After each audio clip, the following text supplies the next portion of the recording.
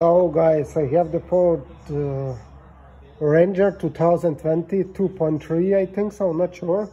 And uh, I want to show you how to take the PCM, power control module or ECU. There's many, many names on it. First what you have to do, you have to take out the fuel fuse box from the top of it. Then you have to take out about the fuses, fuse box. I want to show you some interesting stuff.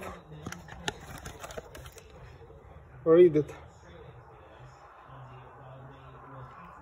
It must be scrapped if you drop it on the ground or especially after crash like this one, accident.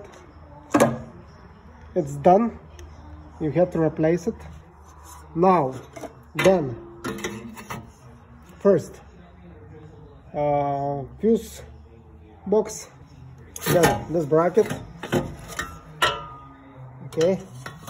And then you get access to the power control motor like this one is continental. That's a very good maker. And I think you have to take out the fuel.